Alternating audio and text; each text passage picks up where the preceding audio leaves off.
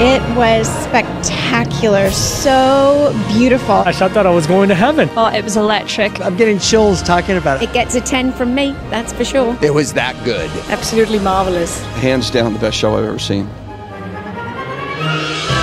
It's emotional, it's captivating, it's visual. Every single bit of your senses is engaged. Oh my gosh, it was a riot. I didn't expect to laugh so much. The music was just so beautiful and it and it really lit up the room. The way they used the costumes to create part of the image, it was just absolutely mind-blowing. It was powerful and it is something that's needed in today's society. People nowadays go to the doctors, the psychiatrists for pills, for antidepressants.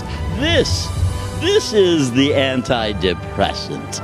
The best. I've heard people say you don't want to miss this, and I would fully agree. I'm going to tell everyone to come see it. You have to. Definitely going to come back next year. Totally inspirational. You have to go see this. Everyone needs to see this. Don't miss it. It's a once in a lifetime must see that will change their lives forever.